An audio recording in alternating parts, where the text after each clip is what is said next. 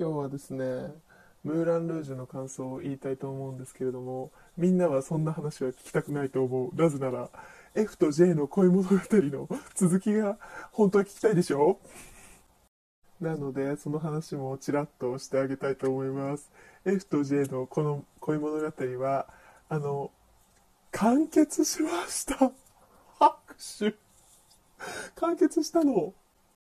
完結したっつうか完結したことを F からも J からも、もう J からは聞かない。F から聞いてないんですけれどもこの間急に「キャンディ This is my boyfriend」って言って F にはすでに違う男ができています。皆さん。F のことを舐めないで。もう全然 J でも何でもない。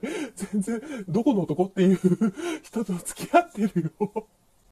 しかもなんかテレビ電話中にキャンディーこれ私の彼氏って見せられて、あーすごい心の中、え、え、J はどこに行ったの？え、あんたいつの間にそんな男捕まえたの？待って、それ誰？ってなってるのを隠しながら、そう隠しながら、なんか、あーキャンディーだよ、はい、ナイスとミーチューとか普通に言って、そしたらなんか、キャンディー私のママなの？ってフランキーが言ったの。そしたらなんかその彼氏ってやつが、なんか、ママがレズビアンっていやいや、初見でさ、いきなりさ、レズビアンですかっていうか、なんかレ、あ、レズビアンみたいな。どこが私のどこがレズビアンなの？ちゃんと男が好き。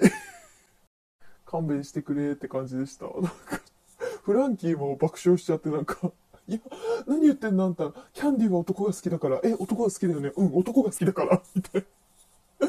男が好きです、って言って。